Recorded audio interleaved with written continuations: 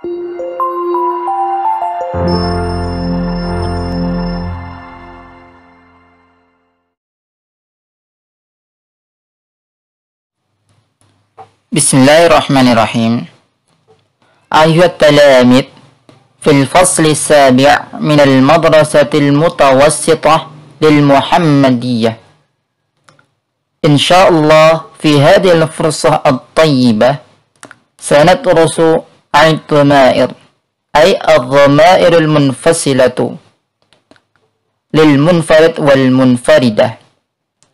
فالضمائر المنفصلة للمنفرد والمنفردة فهي أنا أنت أنت هو هي. مرة ثانية أنا أنت. Anti huwa hiya ana saya anta kamu laki-laki anti kamu perempuan huwa dia laki-laki Iya, dia perempuan. Sekarang, untuk mempermudah dalam memahami kaidah tersebut, kita masukkan ke dalam contoh kalimat. Al-misalu lil mutakallim, contoh untuk kata ganti orang ke satu. Ana tilmidun. Ana, saya, tilmidun, murid laki-laki. Ana di sini sebagai dhamir munfasil, yaitu kata ganti terpisah. Secara mudahnya kita melihat bahwasanya penulisan ana dan tilmidun dipisah, tidak dijadikan satu. Al-misalu contoh yang kedua, ana tilmidatun.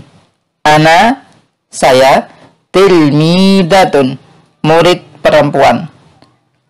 Ana di sini juga sebagai dhamir munfasil, yaitu dhamir atau kata ganti yang terpisah. Al-misalu lil mukhatab. Contoh kalimat untuk kata ganti orang kedua. Al-misalul awal anta ustadun anta kamu laki-laki ustadzun guru laki-laki anta dalam kalimat ini sebagai dhamir munfasil yaitu kata ganti orang kedua tunggal yang terpisah dalam penulisannya.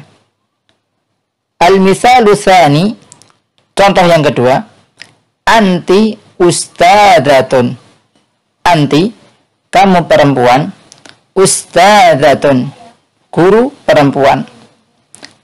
Anti dalam kalimat ini sebagai zamir munfasil juga. Yang artinya kata ganti terpisah untuk orang kedua tunggal. Al-misalu lil ghaib contoh kalimat untuk orang ketiga tunggal. Al-misalul awal Contoh yang pertama, huwa muslimun.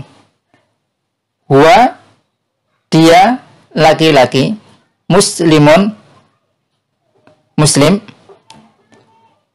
Huwa dalam kalimat ini juga sebagai dhamir munfasil yaitu kata ganti terpisah untuk orang ketiga tunggal. Al-misalu tsani hiya muslimatun. Ia dia perempuan muslimah muslimah atau orang muslim perempuan. Ia dalam kalimat ini juga sebagai dhamir munfasil yang artinya kata ganti terpisah untuk orang ketiga tunggal.